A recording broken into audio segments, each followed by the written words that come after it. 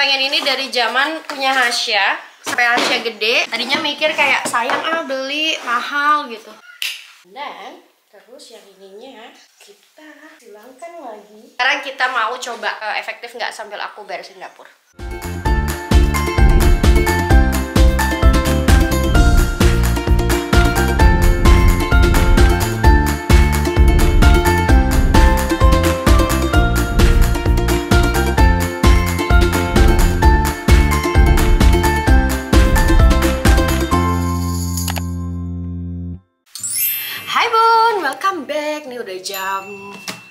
9 malam ya jam 8 lewat ya.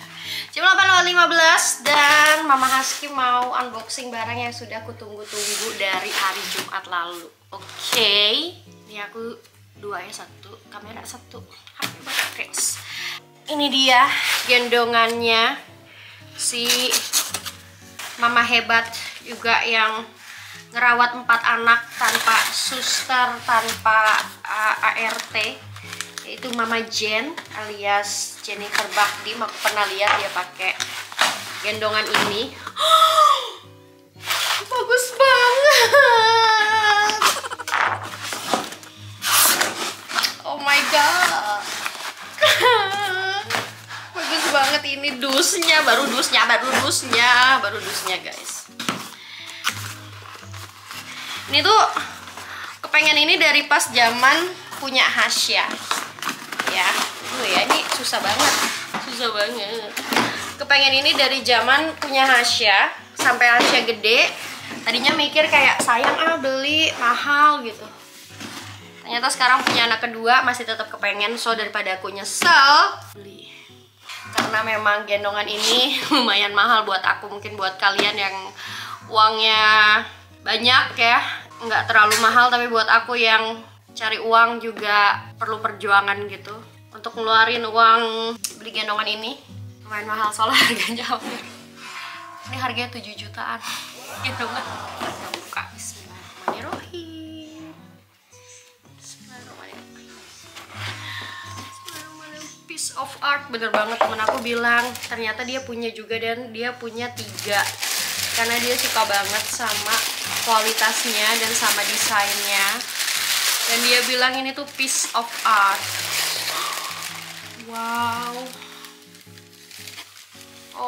mewah banget hmm, ini si mata langnya ya. Pemata apa nih? Nggak tahu deh dan aku pilih yang warna ini si uh, peacock ya. Burung merak. Peacock.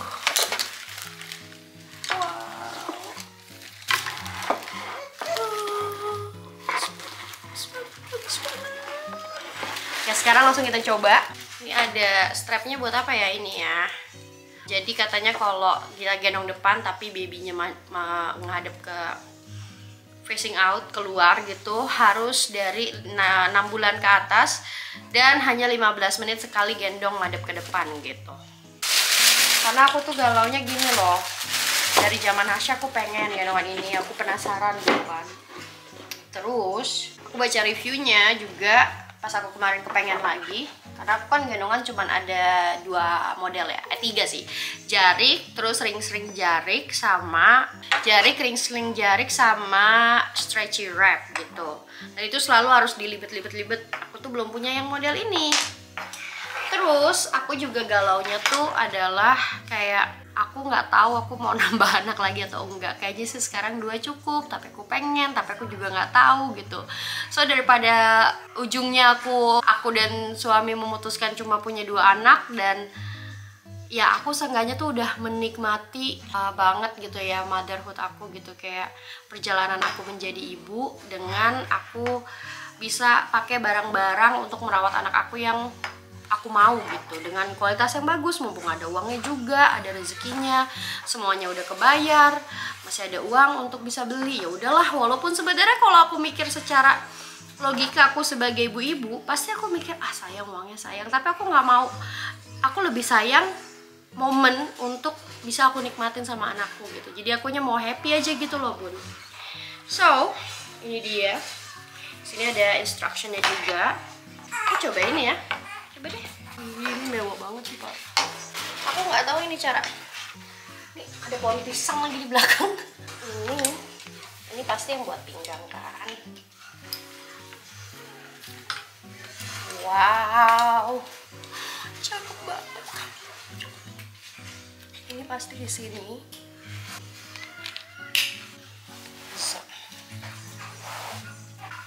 Kayaknya gini ya nanti anaknya tinggal dimasukin ke sini gitu ya warnanya cakep banget parah. Terus ini kayaknya masukin ke mana nih? Aku harus lihat-lihat dulu ya. Warnanya cakep banget parah. Ini strapnya. Ini gendongan terutama buat mudik juga nih di pesawat nanti. Harus punya yang sat-sat mana ya ini ya? Aku harus lihat tutorial lagi. Iya dek. Ini di sini. Deh Iya sih. Aku lihat tutorial YouTube-nya dulu. Iya deh, sebentar deh. Mama lagi siapin gendongan buat adek. Oke, ini yang gedenya di klik, dimasukin. Tunggu dulu ya. Ini kan udah diklik nih di sini, ya enggak? Terus dia oh, dilipat gini.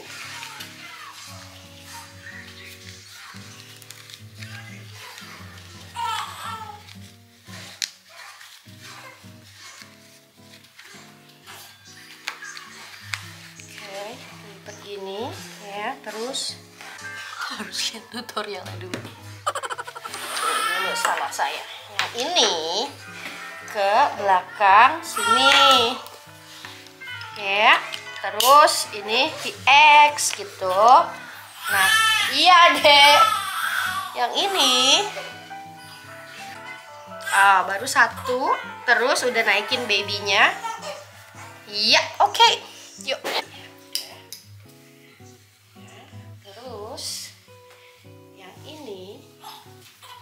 Belakang di X ke sini. Terus ditarik.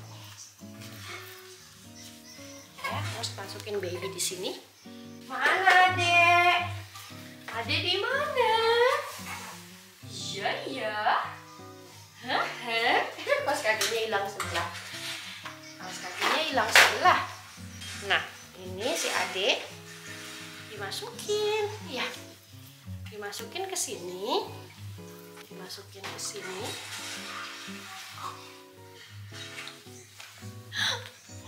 Uh, sayang, adik kakinya masuk ke sini. Ya, lekas sayangku.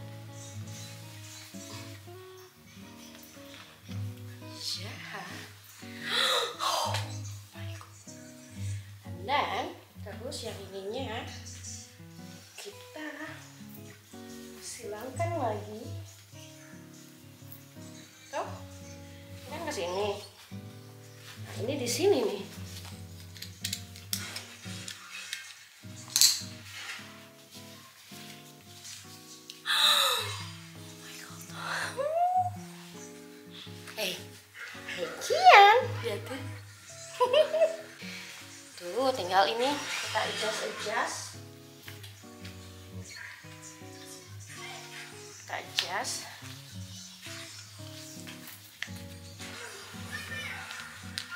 Terus ini dilipat-lipat juga. Dilipat, lipat, lipat, lipat biar nggak mengambai.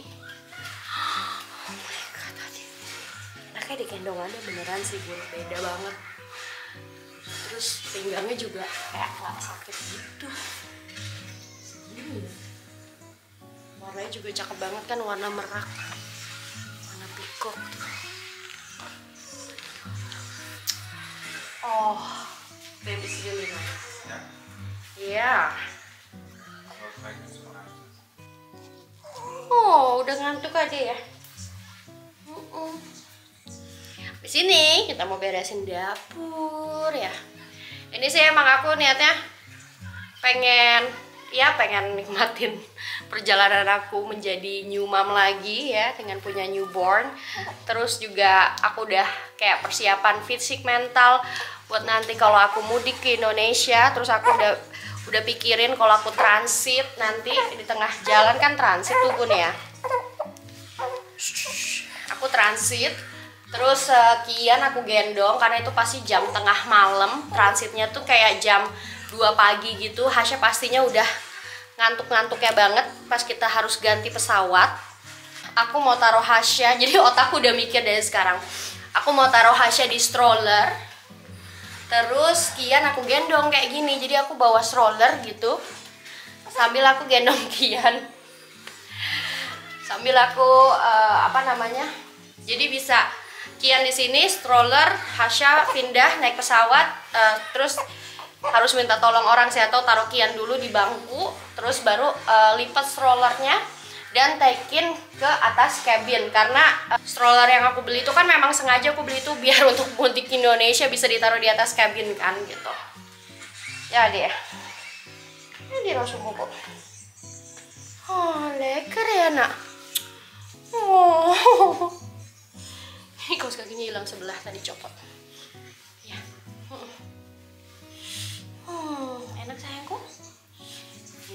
bisa di adjust juga harusnya ya.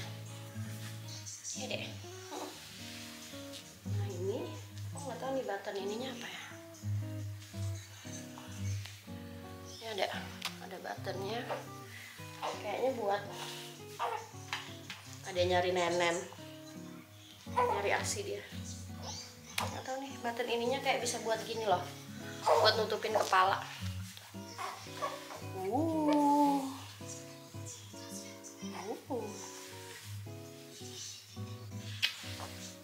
Oke, sekarang kita mau coba uh, efektif nggak sambil aku beresin dapur.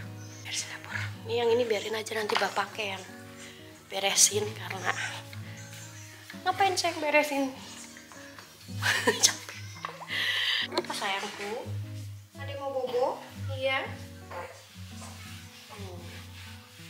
Nah ini dapurku lebih terang daripada ruang tamuku ya. Memang kalau rumah Belanda tuh gitu.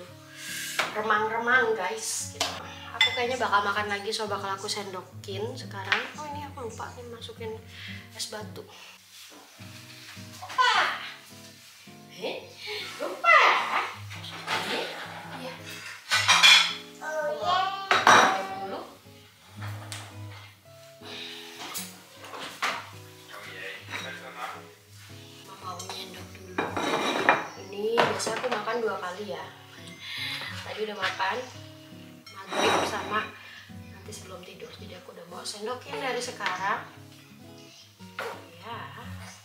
Nih dia mau nenen ya? Dia mau nenen masih masih. Mau beresin mau kasih adi asi dulu ya. Mau cuci tangan deh habis takut megang sambal oke.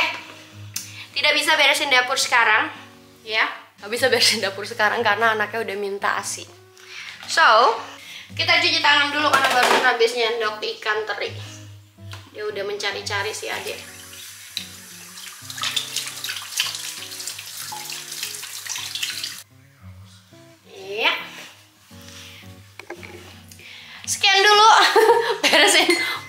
beresin dapurnya pakai gendongan nanti aja deh next time ya.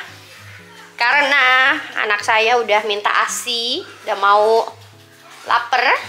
So aku sudahin dulu. Jadi persiapan Mama Asya udah next level lagi nih. Siapin gendongan yang bagus dan nyaman ya. Untuk dua bulan lagi mudik bawa anak bayi sama kakak Asya ya. Toddler thanks for watching bun. I see you guys in my next video. Bye bye assalamualaikum